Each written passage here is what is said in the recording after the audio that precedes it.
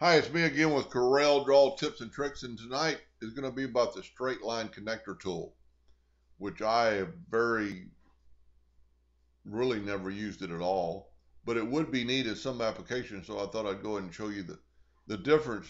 I could never really figure out what it did, but let's, we've got these two shapes here, and we're just going to, let's draw a line, so we're going to go get our two-point line connector, and on this side, we're going to go from that node to that node and that node to that node. But on the other side, we're going to use the straight line connector. And we're going to go from that node to that node and that node to that node. I think I actually missed that first node. Let's do that one again.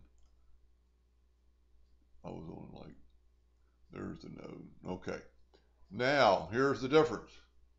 So this is our standard two-point line. Let's say we want to move this over. These lines stay connected where those lines don't. I don't really, not for sure when you would use it, but if you were drawing something and you had two objects and you wanted to connect them and not have to weld them or, or group them all together, this would help you a lot. Anyway, hope that helped a little bit, and thank you for watching.